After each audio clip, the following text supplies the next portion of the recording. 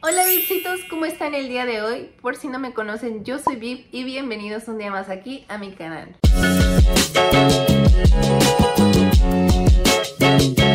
Y pues bueno, hoy vengo a contarles el por qué cerré mis redes sociales. Si ustedes son nuevos seguidores y no saben bien la historia, los voy a poner un poquito en contexto. Para los que ya saben, pues a lo mejor se podrán imaginar por qué pasó. Yo cerré mis redes sociales porque tenía muchos problemas emocionales. No me sentía muy bien, me sentía triste por una ruptura que yo tuve con mi expareja. En enero de este año, 2021, me empecé a sentir muy mal y decidí cerrar mis redes por motivos personales. A mí me gusta más enfocarme en comedia y esto es lo que yo quería transmitirle a ustedes y no podía hacerlo. Entonces me empecé a sentir muy mal y decidí cerrar mis redes temporalmente. Después de esto busqué ayuda psiquiátrica porque ya era mucho mi depresión que yo tenía, que me sentía bastante mal y me empecé a tratar con la psiquiatra. Durante este tiempo yo tuve un accidente en el mes de marzo donde se golpeó muy fuerte mi cabeza. Yo le comenté esto a la psiquiatra porque le dije que empecé a ver cosas que se hacían más grandes, más pequeñas, empezaba como ya con mi depresión que tenía hasta empezaba a escuchar voces, me sentía más extraña, me sentía cada vez más hundida y esto no se me hacía algo normal. Para esto ella ya me había diagnosticado que tenía depresión mayor junto con ansiedad y trastorno límite de la personalidad. Después de esto, del accidente que ocurrió, me detectó trastorno de estrés postraumático y me mandó a hacer un estudio para lo que estaba ocasionándome esas voces y esas cosas que yo veía medio extrañas. A lo que me mandó a hacer el estudio y el estudio salió anormal. Les voy a contar un poquito sobre el límite trastorno de la personalidad, conocido también como borderline. Son personas que carecen de seguridad de cómo se ven a sí mismas y las ven otras personas tienden a idealizar muchísimo a las personas, tienden a ver las cosas muy extremas, ya sea muy buenas o muy malas. Un día pueden estar muy felices, al otro día muy tristes, es como una montaña rusa de emociones son súper inestables. Los principales síntomas de este trastorno es el miedo a ser abandonado, intolerancia a la soledad, sentimientos de vacío y aburrimiento, manifestación de ira inapropiada, impulsividad y actos de autolesión. La ansiedad es un sentimiento de miedo, de inquietud, puede hacer que sude, te sientas inquieto, tenso. La depresión mayor es un sentimiento donde la tristeza es la que abunda, la que da para abajo. Y el trastorno de estrés postraumático es cuando vives un evento muy fuerte y eso hace que recuerdes el evento y te cause conflictos emocionales. Entonces después de todo eso a mí me empezó a afectar muchísimo. Me sentía cada vez más triste, llegué a tener comportamientos inadecuados, llegué a autolesionarme e incluso a tratar de quitarme la vida. Todo esto lo hablé con la psiquiatra y la psiquiatra me dijo que me recomendaba mandarme a un centro psiquiátrico llamado Kaisame en León, Guanajuato. Fue ahí donde me mandaron, estuve internada todo un mes, donde pues me estuvieron tratando.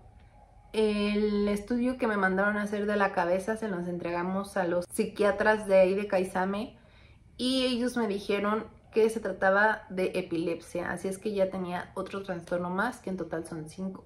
Y la epilepsia es una lesión que puede afectar al cerebro, a veces se puede conocer la causa y a veces no.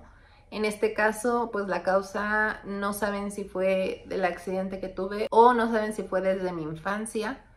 Para esto, pues ya me mandaron a hacer más estudios, todavía no tengo los resultados hasta ahorita, hasta esta fecha. Eh, me mandaron a hacer una resonancia magnética. En la resonancia magnética salió todo normal. La tomografía aún no han interpretado mi caso, pero aún están investigando el por qué. Y después de esto me van a mandar a hacer otro encefalograma para ver si la epilepsia nada más se presentó después de haber vivido este episodio, que también se presenta epilepsia después de un estrés postraumático como el que yo pasé. Entonces eso es lo que quieren ver para descartar que tenga algo más o si tiene que ver con el accidente. En esta instancia, en Caesame, me ayudaron mucho. Había psicólogos, había psiquiatras, había terapistas. Nos daban muchos talleres donde hacíamos peluches Por ahí en Instagram, si me siguen, les dejé un peluchito sobre el que hice ahí en Kaisame. Nos enseñaban a bordar, a dibujar, nos mantenían ocupadas todo el día, nos ponían a leer, nos hacían terapias grupales, terapias individuales. Entonces eso me ayudó mucho a desahogarme, a sacar todo lo que yo tenía adentro y me dieron tratamiento. Sí, estoy bajo tratamiento médico. Tomo valproato de magnesio, clonazepam, risperidona, sertralina, homeoprazol y creo que se me está olvidando una que no me acuerdo. Pero con todo ese mes que duré ahí no fue suficiente para mí porque todavía cuando salí tuve otra recaída. Ya cualquier cosa me hacía llegar a los extremos. Si me sentía mal, lo hacía muy grande y eso me llevó a actuar mal varias ocasiones porque en esas varias ocasiones yo llegué a atentar contra mi vida. No fue una, no fueron dos, no fueron tres, fueron más de cinco veces. Ya mi familia estaba muy preocupada, mis hijos también. Me preguntan si mis hijos pasaron por esta etapa sí, sí la pasaron. Cuando yo me empecé a dar cuenta que estaba mal en febrero, le pedí apoyo a mis papás con mis hijos para que los cuidaran en lo que yo trataba de sanarme, en lo que trataba de ayudarme, porque eso es algo muy importante, cuidar su salud mental. Recuerden que si ustedes tienen alguno de estos síntomas o si ustedes se llegan a sentir así, no tengan miedo porque también me llegaron a mandar mensajes de que tienen miedo decirle a sus papás, a sus familiares no tengan miedo de decirlos, atiéndanse, la salud mental es lo principal, hay que cuidarnos y como se sientan, díganselo a sus familiares o acérquense con los profesionales, pero no se dejen, no se dejen caer.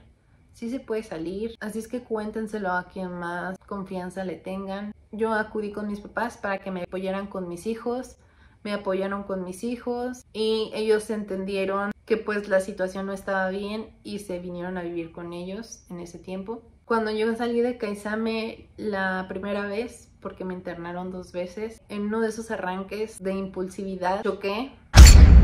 Gracias a Dios estoy bien, nada más tuve un esguince de cuello, pero pues así quedó mi carrito. Fue pérdida total, ya no pudimos recuperarlo, pero no pasa nada, estaba asegurado en esta segunda vez que me internaron por haber hecho un problema chiquito a inmensamente grande. Aquí nada más duró 15 días internada y fue porque yo decidí, le dije a mi papá, ¿sabes qué? Llévame a internarme porque no estoy bien. Y accedieron, me llevaron hasta Kaisame, duré 15 días y según yo también ya había salido bien, me sentía más tranquila, que sí me sentía más tranquila, que sí había avanzado, pues no me iba a recuperar de la noche a la mañana, yo tenía muchas cosas que todavía me pesaban, todavía tenía que poner yo mucho de mi parte y trabajar en ello. Saliendo de mi segundo internamiento, nuevamente tuve un mal comportamiento y vamos a dejarlo como mal comportamiento a lo que ya les conté sobre autolesión y sobre atentar contra mi vida. Después de esto, pues me vuelve a dar otra crisis y en esa crisis, por desgracia, me volvieron a encontrar ya casi inconsciente. Me llevaron al hospital de inmediato. Ya para esto yo tenía muchas alucinaciones visuales y auditivas escuchaba música muy fuerte, que me hablaban, que silbaban, incluso llegaba a sentir que hasta se me acercaban. Y desde entonces he estado bajo tratamientos. Durante esta estancia que yo estaba internada, tenía mis terapias con la psicóloga cada semana. Estuve internada por 15 días.